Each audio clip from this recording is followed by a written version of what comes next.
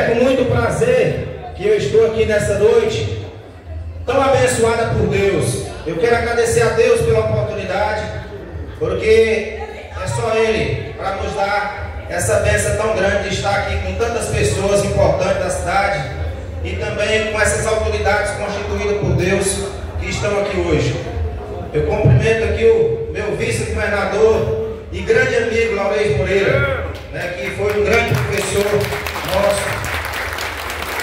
Quero aqui cumprimentar também o meu grande amigo e primo, Gutierrez Torquato, esse deputado jovem, que tem mostrado que veio para trabalhar pelo Procurador Origins. Eu quero aqui cumprimentar esse grande amigo, Ederson Soares. Esse cidadão que teve a oportunidade também, igual a mim, três vezes vereador consecutivo, e que também teve a oportunidade de ser presidente dessa Câmara e conduziu esse Poder Legislativo com muita honra e com, muita, com muito zelo. Parabéns, Edilson. Muito obrigado pela confiança de estar aqui junto deste grupo vencedor, que eu tenho certeza. Eu quero aqui cumprimentar todos os meus pré-candidatos a vereadores e vereadoras que estão aqui presentes.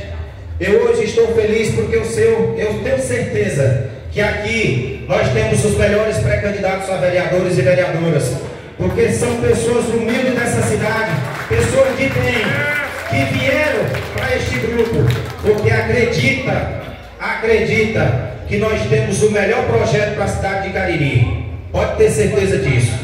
Muito obrigado a cada um pela confiança. Mas eu queria contar um pouco aqui da minha história. Eu sou cearense, com muito orgulho.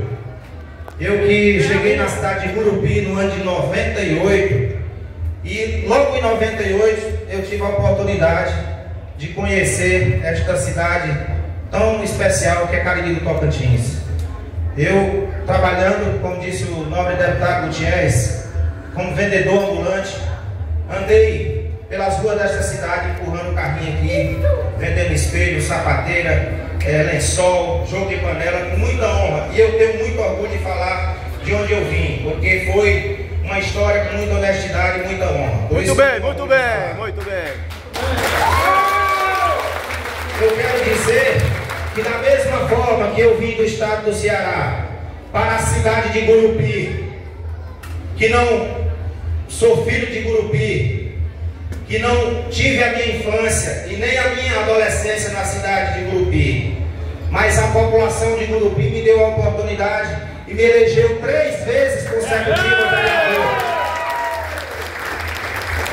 E eu, em contrapartida, eu dei o melhor de mim, que foi fazer um trabalho com honestidade e com muito zelo pelos recursos que entraram nos cofres públicos da Câmara Municipal.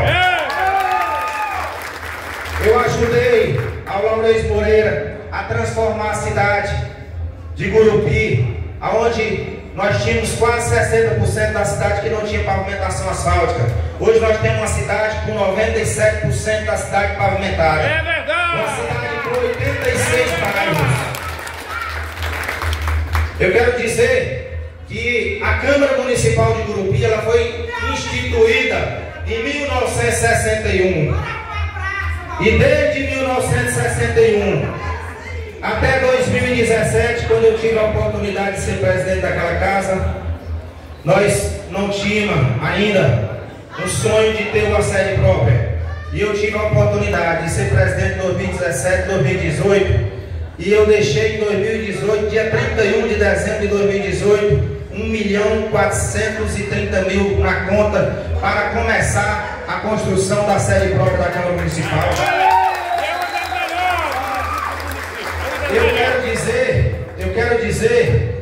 Que eu tive a oportunidade de comprar toda a frota da Câmara Municipal que era alugada, pagava um valor de mais de um carro por mês. E eu comprei toda a frota, é claro que com a ajuda dos meus colegas vereadores, porque um presidente não faz nada sem a ajuda dos seus companheiros. Que tem pessoas de todos os estados do nosso Brasil. Uma cidade construída por pessoas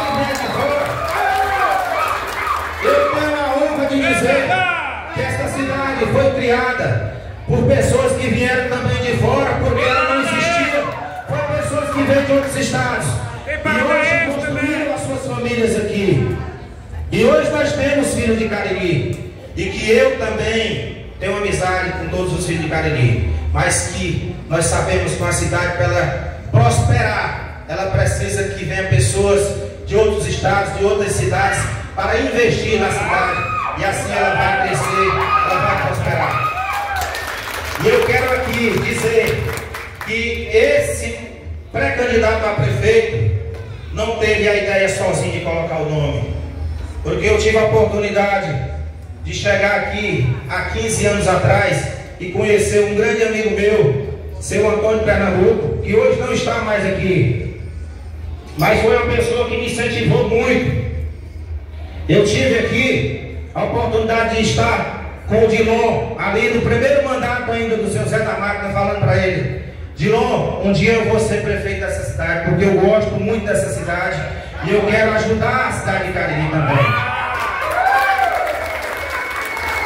Eu quero dizer que eu não estaria aqui hoje se eu não tivesse o apoio de pessoas importantes dessa cidade me incentivando, que é o seu Jeremias, uma pessoa que foi prefeito duas vezes vice-prefeito dessa cidade e uma vez prefeito e que fez um trabalho excelente nessa cidade. Eu não estaria aqui hoje se eu não tivesse o apoio do seu José da Máquina. Esse homem é humilde.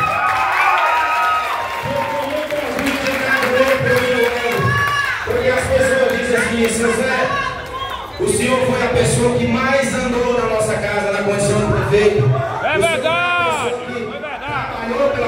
Mais humildes dessa cidade. Eu fico muito feliz por o senhor estar aqui acreditando nesse projeto, seu Zé. E pode ter certeza absoluta que nós juntos, porque ninguém governa só, nós vamos ser sim o melhor prefeito dessa cidade. É verdade! Eu quero dizer aqui que esse grande amigo meu, Carlão, que está aqui de frente, quatro vezes vereador, Pega na mão deste homem aqui e sai de porta em porta visitando seus amigos, é porque acredita também no nosso projeto.